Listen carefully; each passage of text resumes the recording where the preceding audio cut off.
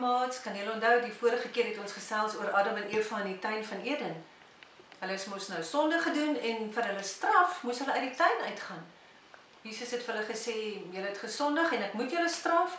So julle kan nie meer net moonshine en roses hê nie. Nou gaan julle moet hard werk en die vrouens gaan sukkel om kinders te hê as deel van hulle straf. En hulle het toe kinders gehad, twee seuns, Kain en Abel. Kain became the farmer and um, Abel was the shepherd. And then they grew up and they both went their own ways and they were farming and the one with a grain and mealies and whatever and the other one was um, animals.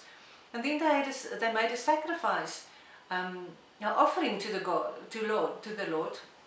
So they made a, um, an offering to the Lord. They built an altar, and then Cain put up some of, some of his grain, and Abel put up some of his um, his best firstborn lamb, lamb, and then um, Cain's offer was not accepted by the Lord, but Abel's was. And Cain, be, Cain became very, very, very angry. He was full of hate and, and he was thinking, what can I do to my brother? It's so unfair. But we must remember, when we fill our hearts with sin, it's not only us that's affected. You know, when we sin, it affects all the people around us. And we must um, guard our hearts not to sin. You see what happened when we when we have got sin in our lives? Let's see. I put, I've got a little bowl here with um, koeksoda in en hierso is net um, asyn met 'n bietjie kleursel en hierdie is nou my Kain en Abel en die ander mamma en pappa almal om hulle net. Kom ons kyk 'n bietjie wat gebeur as ons sonde doen in ons lewe. Dink julle dit affekteer net vir my? Ek weet nie. Kom ons kyk. As ons nou hierdie asyn bygooi. Kom ons kyk. Ek gooi en ek gooi en sien julle? Dit vloei oor na ander mense toe. Dit beïnvloed nie net vir een nie, dit beïnvloed almal, sien julle?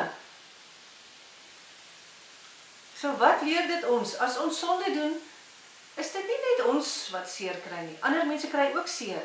Maar ons kan onthou weer eens, as ons die kleur rooi sien, dan dink ons aan die bloed van Jesus wat vir ons sondes aan die kruis gesterf het, né? So ek dink die belangrikste lesie wat ons by Kain en Abel leer is om mekaar te vergewe. En om as ons weet as ons nie sonde doen nie, dan sal die Here um altyd vir ons lief wees. Hy sal anyway altyd vir ons lief wees. But if we do not sin, then we um, are closer to God. So we must we all sin, we know that. But we can try and try and try and then if we do sin, we can repent. That is very very important. To ask the Lord to forgive us and then also the people that's affected with our sin.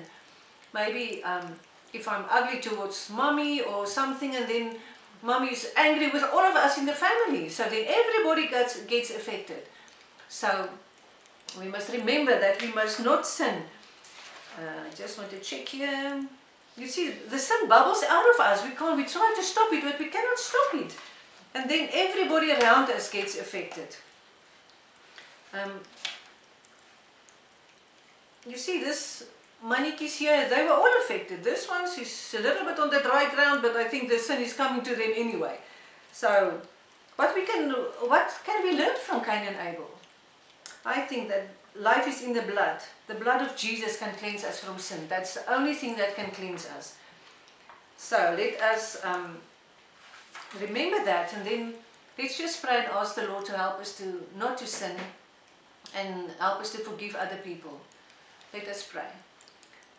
Lord, thank you that we can learn from Cain and Abel. Lord, that we can always strive to do the best thing, Lord. That we can try to honor you in everything that we do.